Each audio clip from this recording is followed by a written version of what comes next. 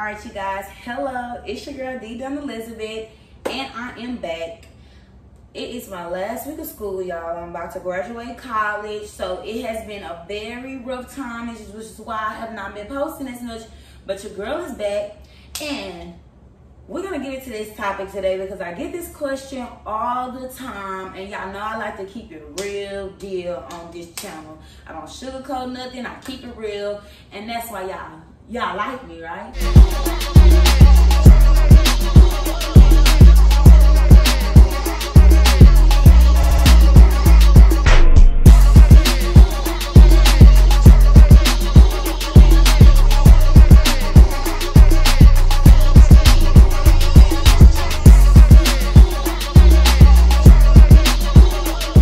Okay, cool.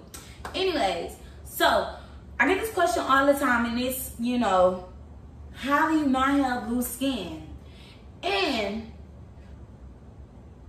I give people advice on how to manage it or like, you know, avoid it as much as possible. But truth is you really can't avoid it. You're looking at a person that lost 154 pounds. I lost over, I lost 100 pounds in 11 months. So I relatively kind of lost the weight pretty fast. Who's to say if I would have lost a little bit slower, maybe I wouldn't have as much loose skin? Or who's to say maybe I should have ate more protein back then or lifted more weights? I would I wouldn't have had as much as I do now. But we're not living in the past, okay? We're living in today, and this is the reality, and this is my body, y'all. Let me just say, it's a struggle for me. I'm learning to accept it. I'm learning to love myself even more. This is a whole new process for me with the loose skin, but I'm learning to look at it as my battle scars. I worked really hard for this body. I lost 154 pounds, all naturally, you guys. Exercise, calorie counting, no surgery.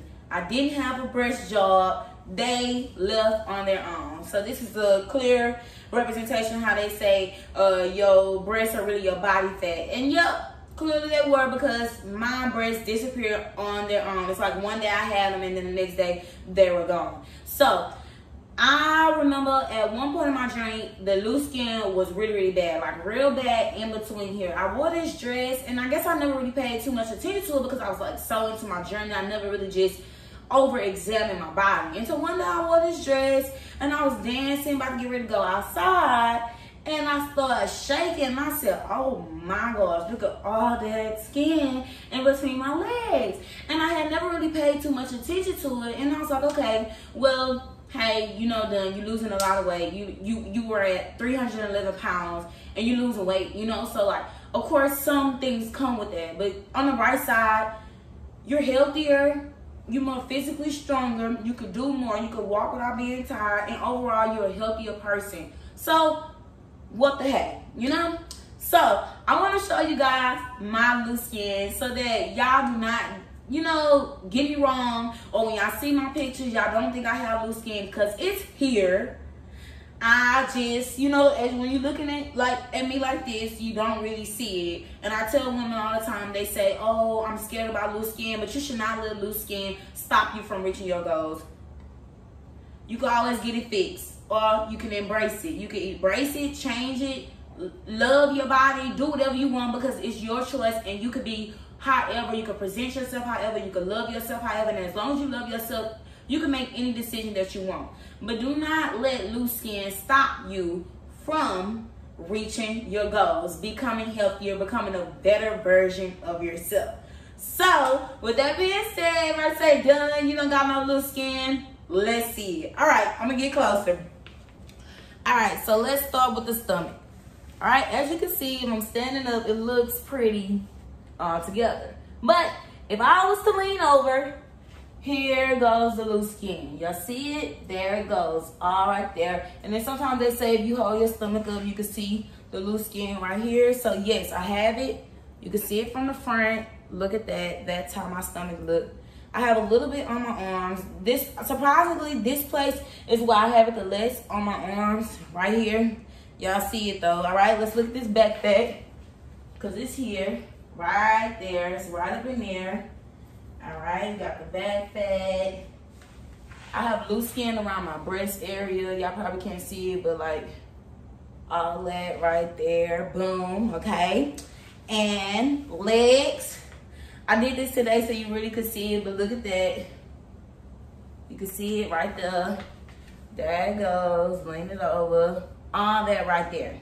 So, how can you avoid loose skin? Done does it know. But how can you become healthier, shed body fat? I got those answers. But at the end of the day, it's important to embrace your body.